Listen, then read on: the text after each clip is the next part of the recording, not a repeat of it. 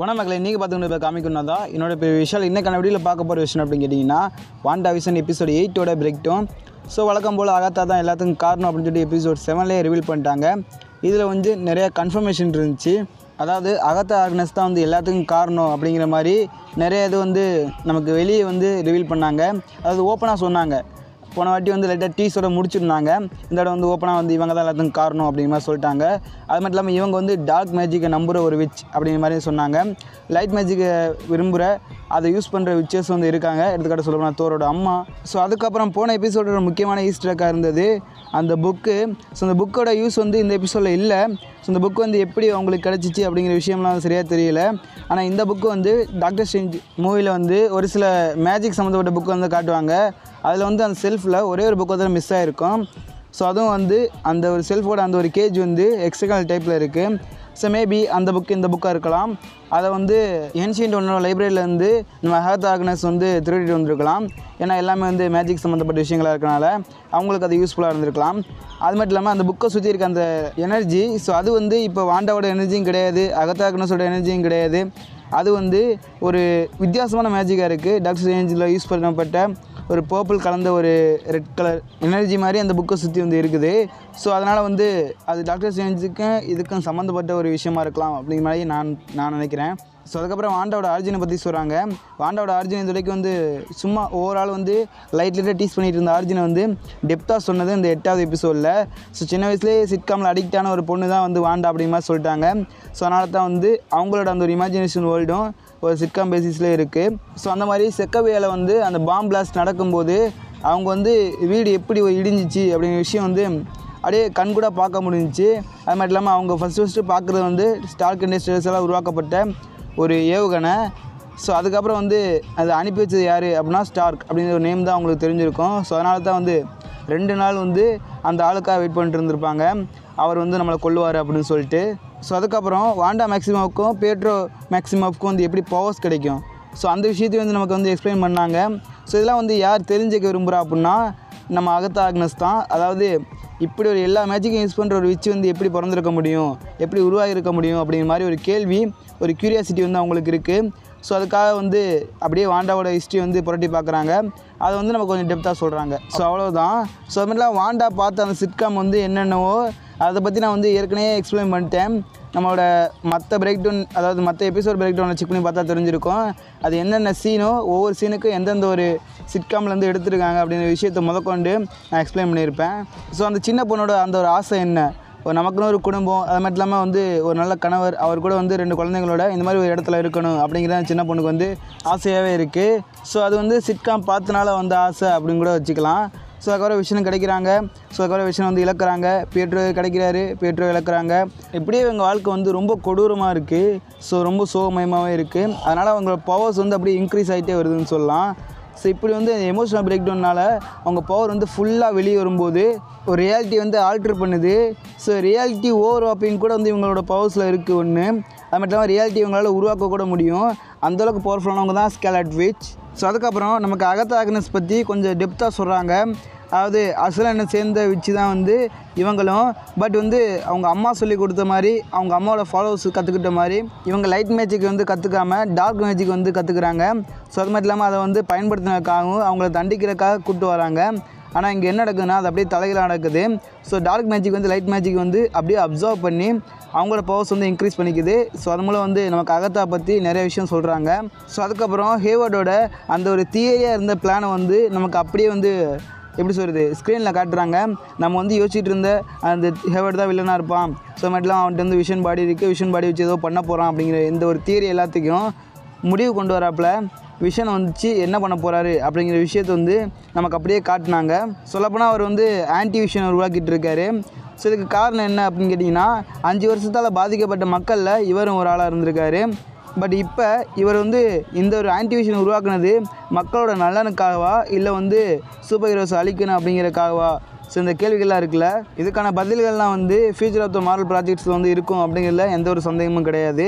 So ஒரு அஞ்சு வருஷம் பிலீஃபில் பாதிக்கப்பட்டவங்களோட ஒரு ரிஃப்ளெக்ஷனாக வந்து ஹேவர்ட் இருக்கார்.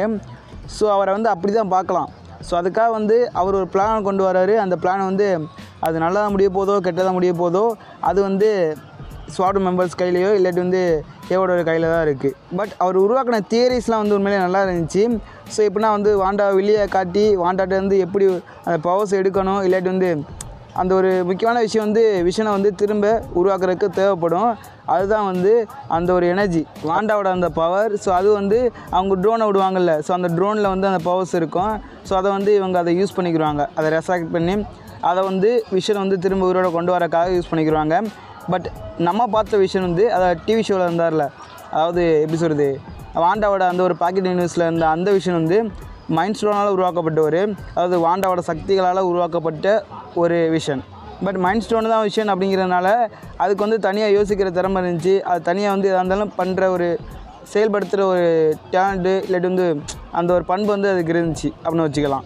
ஸோ இப்போ அந்த எபிசோடோட ஒரு ஃபைனல் கட்டு இல்லாட்டி வந்து போஸ்ட் கிட் சீன் இப்படின்னு வச்சுக்கோங்க. ஸோ அதில் காட்டப்பட்ட ஒயிட் விஷன் ஸோ அவர் வந்து திரும்ப உயிரோடு வரப்பலே காட்டினாங்க. ஸோ அந்த ஒயிட் விஷனோட ஆர்ஜின் அது மட்டும் இல்லாமல் அதை பற்றின டீட்டெயில்ஸ் எல்லாமே வந்து தனியாக செப்பரேட் வீடியோ போடுறேன். அது காரணம் வந்து நான் ஆர்ஜினோட கலந்து சொன்னால் தான் வந்து உங்களுக்கு புரியும். பட் எம்சியூவில் வந்து இந்த ஒயிட் விஷன் வந்து எதுக்கு யூஸ் பண்ண போட போகிறாரு அப்படிங்கிறது ஹேவர்டோட பிளான்லாம் இருக்குது ஸோ ரொம்ப எபிசோடில் இதை பற்றி சொல்லுவாங்களா அப்படின்னு கேட்டிங்கன்னா அது வந்து மிகப்பெரிய கேள்விக்குறி. காரணம் வந்து இது ஃபியூச்சர் ஆஃப் த எம்சியூவில் வந்து ஒரு வில்லனாக யூஸ் பண்ணுற வாய்ப்பு இருக்குது அதாவது இந்த ஒயிட் விஷனை இல்லாட்டி வந்து அதுக்கப்புறம் இவரை வந்து ஒரு நல்ல விஷனாக மாற்றி அவஞ்சர்ஸ் ஒரு வந்து சேர்த்துக்க வாய்ப்பு இருக்குது ஸோ இப்படி தான் வந்து ஸ்டோரி லைன் வரப்போகுது. ஸோ இதில் ஏதாவது ஒரு ஸ்டோரி லைன் வந்து இருக்கும். ஒயிட் விஷனை வந்து அழிக்க மாட்டாங்கன்னு நம்புகிறேன் ஸோ சரியாக தெரியல இல்லாட்டி காமிக் புக்கில் நடந்தாப்புலையே திரும்ப வாண்டா கூட இருந்து சேர்ந்து வாழ்கிறாப்புல காட்டுற வாய்ப்பு இருக்குது ஸோ எல்லாமே வந்து லைக் சின்ன சின்ன தியரிஸாக இருக்குது இதெல்லாம் வந்து எப்போ ஒரு ஸ்க்ரீனில் வருமோ அப்போ தான் நம்ம அதை பற்றி வந்து ஃபுல் டெப்த்தாக வந்து தெரிஞ்சுக்க முடியும். ஸோ இப்போ தான் வந்து இன்னொரு பாயிண்ட் வந்து வருது. ஸோ என்ன அப்படின்னு கேட்டிங்கன்னா நான் வந்து யோசித்த விஷயம் ஸோ இப்போ வந்து அந்த யூனிவர்ஸில் வாண்டாவில் கிரியேட் பண்ணப்பட்ட அந்த விஷயம் வந்து திரும்ப அந்த யூனிவர்ஸ் விட்டு வெளியே வரும்போது அழிஞ்சிருவார் அப்படின்னா டாமியும் பில்லையும் எப்படி வந்து திரும்ப அந்த யூனிவர்சிட்டி வெளியே வர போகிறாங்க ஆனால் எங்கே கொஞ்சம் வந்து சேர போகிறாங்க அப்படிங்கிற விஷயம் வந்து எனக்கு கொஞ்சம் சந்தேகமாக இருக்குது ஸோ தெரியல. அது வந்து எப்படி வரப்போகுது அப்படின்னு சொல்லிட்டு. இல்லை அப்படி வந்து டாமியும் பில்லையும் வெளியே வந்தால் விஷன் வந்து வெளியே வந்து தானே ஆகணும்? ஸோ அது மட்டும் இல்லாமல் வாண்டா மேக்ஸிமவுக்கு எப்படி அந்த ஒரு மைண்ட் ஸ்டோரில் வந்து பவர் கிடச்சிச்சோ அந்த விஷயத்தை வந்து அப்படியே ஃபுல்லாக டெப்த்தாக காட்டியிருந்தாங்க. அது அந்த எக்ஸ்பெரிமெண்ட்டே வந்து ஸ்ட்ரெயிட்டாக அப்படியே காட்டியிருந்தாங்க ஃபுட்டேஜஸாக ஸோ அட்டகாசமாக இருந்துச்சு. ஸோ அதுக்கப்புறம் இந்த மைண்ட் ஸ்டோனில் உள்ள அந்த ஒரு எனர்ஜியும் வாண்டாவோட அந்த ரெட் எனர்ஜியும் ரெண்டும் சேர்ந்தது ஒரே எனர்ஜி தான் அப்படிங்கிற மாதிரி வந்து நமக்கு வந்து அந்த ஒரு விஷயம் வந்து ரெசலைட் பண்ணும்போது காட்டியிருந்தாங்க. ஸோ அதுக்கப்புறம் அவரை வந்து திரும்ப உயிரோட கொண்டு வரக்கும் அதே சிஎம்டிஆர் ரேடியேஷன் தான் தேவைப்படுது அப்படிங்கிறது ஹேபிட்டுக்கு நல்லா தெரிஞ்சிருக்கு. ஸோ அதனால தான் வந்து அவர் யாரை வந்து ட்ராக் பண்ணணுமோ அந்த ஆள் ட்ராக் பண்ணிட்டு இருந்திருக்காரு. ஸோ இப்போ வந்து விஷனுக்கு வந்து அதிகமான சிஎம்டிஓ ரேடியேஷன் தேவைப்பட்டிருக்கும். விஷனை உருவாக்குறதுக்கு வாண்டாக்கு. ஸோ அதனால் அவர் ரேடியேஷன் தேடிட்டு இருந்தனால மேபி வந்து அது விஷயம் வந்து டார்கெட் பண்ணியிருக்கலாம். ஸோ அதுக்கப்புறம் வந்து நம்ம அகத்தா யாரை வச்சு மிரட்டுறாங்க வாண்டாவா அப்படின்னா பில்லியும் டாமியும் வச்சு தான்.